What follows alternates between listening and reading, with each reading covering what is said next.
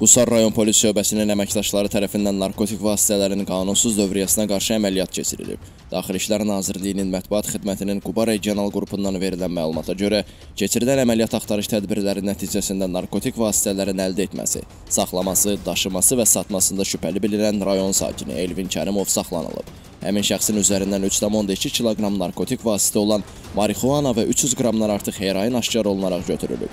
Faktla bağlı Qusar rayon polis şöbəsində cinayətçi başlanılıb.